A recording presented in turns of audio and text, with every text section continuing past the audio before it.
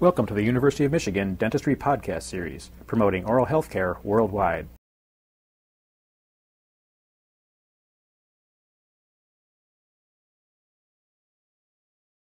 Let's review the anatomy on these mandibular incisors. Review our morphology and terminology and some of our identifying characteristics.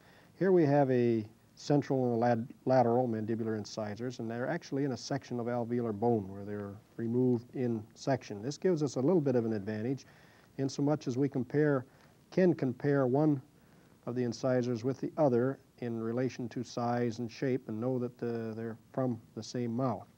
This is our central here, which is our more bilaterally symmetrical tooth. It's more fan-shaped and more evenly symmetrical. Our incisal angles are the same on both mesial and distal and are almost a 90 degree angle. In our lateral here now, we have our distal incisal angle, which is considerably more rounded than our mesial incisal angle. Our lateral also has a little bit more of a broader mesial distal dimension, about a half millimeter wider and our contact on the distal surface starts to get a little closer to the cervical because of the rounding that exists on it. Actually, our crown length from the incisal to the cervical is about a half millimeter longer on the lateral incisor also. If we look to some of our anatomy on the labial surface, we find that we have our height of contour on the cervical third of the tooth, as we did our uh, maxillaries. And same exists on the linguals down in the cingulum. And our cingulum is not quite as prominent in our mandibular incisors as it is in the maxillary. On our central, we have this flattened area on the incisal two-thirds of our labial surface, whereas in our lateral, this is a little bit rounded and it doesn't flatten out quite as much as it does uh, in the central. Some of our other characteristics that uh, are prominent on these mandibulars are on the lingual surface. We've got very small marginal ridges on the lingual surface. These are just not prominent. The lingual surface is almost flat in relation to the marginal ridges and in relation to our uh, lingual fossa. We don't have lingual pits on these mandibular incisors. We've got one specifically new term and characteristic on these teeth, and that is our proximal root concavity. Teeth are quite broad from the labial to the lingual. Fact is, the overall uh, width of the tooth labially lingually is wider than it is mesially distally. So we end up with a very broad, flat uh, root, which gives rise to this concavity. This can be called a uh, concavity, a depression, or a groove. And generally it'll be called a proximal root cavity or proximal root depression got a variety of terms that we can use in that area. If we look at the incisal aspect of it, we're not going to be able to get a, a good uh, relationship to our incisal here because our teeth are a little bit out of a line. But we find that in the central, our incisal, let me check here, that's our central. Yep, our incisal is a little bit more bilaterally symmetrical and our cingulum is located in the center. And this leaves for the cingulum to be in a perpendicular to an axis from the labial to the lingual. And it makes this tooth very squarely symmetrical as far as the, uh, the labial, lingual, and cingulum is concerned, and incisal edge.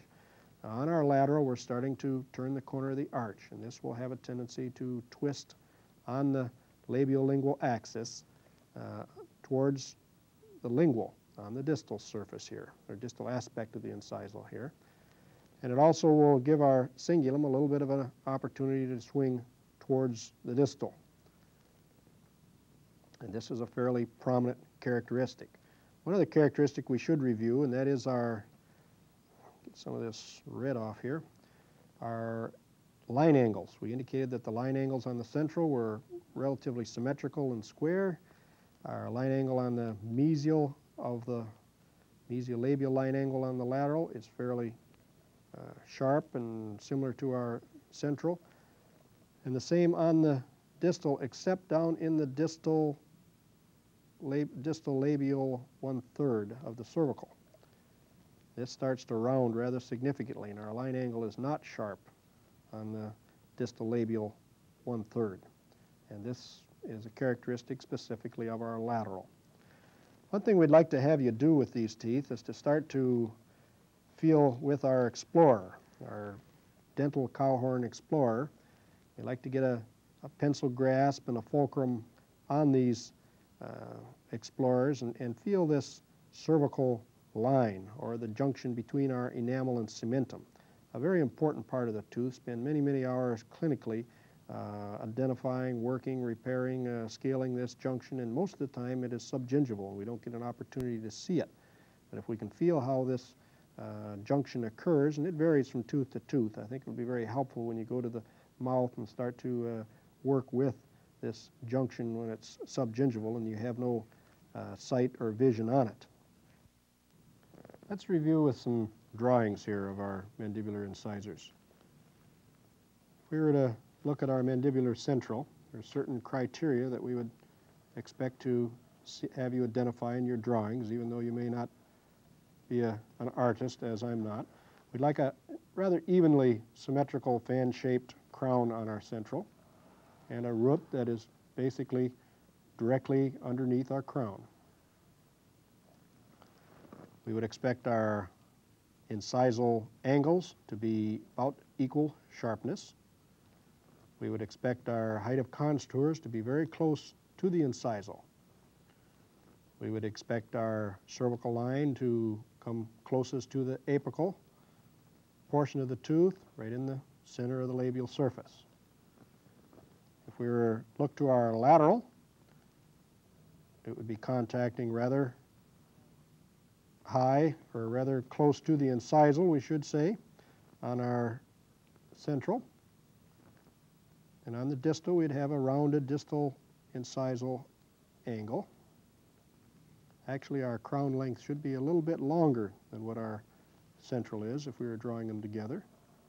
And our root, if anything, may have just a little bit of a distal swing to it.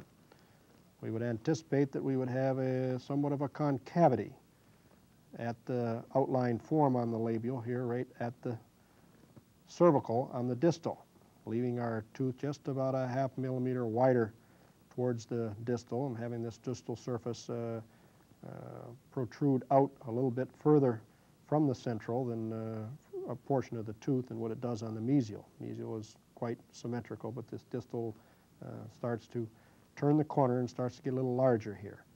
Our line angle being more rounded. We can identify a couple, review a couple other terms that we discussed. One is our proximal surfaces, both of these surfaces uh, in between here, the distal mesial surface of the lateral, as well as the distal surface of the central, could be termed proximal surface. That gives our area and space in between here an interproximal term. If we're talking about uh, decay that occurs in between here, or our gingival tissue, or bone, and what have you, interproximal area. This also uh, gives us an opportunity to define our embrasure. Now, this isn't a very big embrasure because we got a very, well, a contact that's very close to the incisal edge here.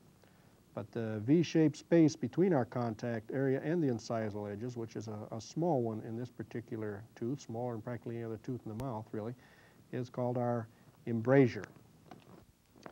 Let's take a look at the mesial view on our mandibular central.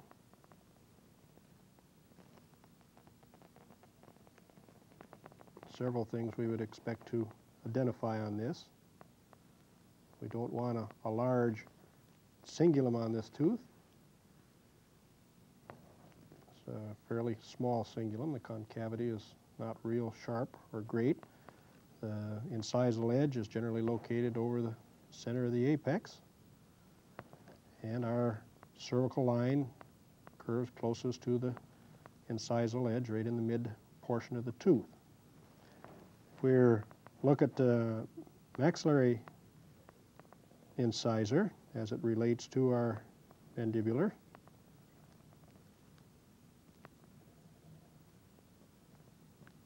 we'd find some additional relationships that we could point out here. And this is in relation to our overbite and overjet. The distance that we have, let me get a, a red pencil here maybe. Distance we have from our labial surface of our mandibular incisor to our incisal edge of our maxillary is our horizontal overbite or overlap. And this is called our overjet or horizontal overlap. And then we have an additional term which we want to become familiar with, and this is the distance in which they actually lap vertically, our vertical overlap. Or sometimes this distance here is called our overbite, which is a term that we must become familiar with. They show a little bit better diagrammatic, diagrammatically than they probably did in the skull for you. Let's take a, root, a look at the cross sections of these roots.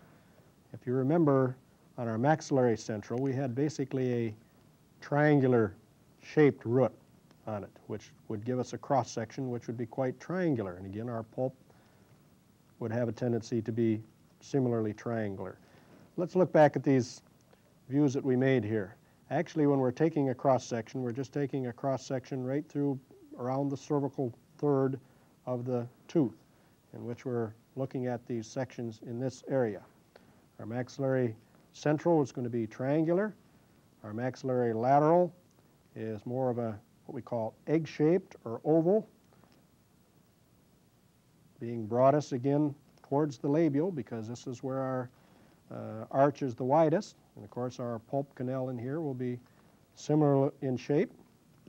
But when we look to our mandibular, we find that uh, this is significantly different. We're rather broad from the labial lingual dimension, and we end up with what is called a flat-shaped root on it. And our root canal on it would be also flat-shaped. Fact is, many times these roots will have a tendency to have this concavity, and they're oftentimes called bow-shaped or ribbon-shaped. But again, if anything, they'll be a little bit broader out towards the labial aspect of it. Occasionally we'll develop into two separate root canals on this tooth, but generally we've got the broad, flat uh, chamber and broad, flat canal, which makes for some difficulty in instrumentation and endodontic procedures. But the differences in the root shapes are very significant in these four incisor teeth, maxillary and mandibular, and we would expect you to be able to know and identify the different shapes as well as the shapes of their uh, pulp cavities. You've been listening to a presentation from the University of Michigan School of Dentistry, which is dedicated to supporting open learning and open educational resources. This recording is licensed under the Creative Commons. It may be reused and redistributed for nonprofit use. Please attribute materials to the University of Michigan School of Dentistry and redistribute under this same license. For more information on how this and other University of Michigan School of Dentistry recordings may be used, visit www.dent.umich.edu/license.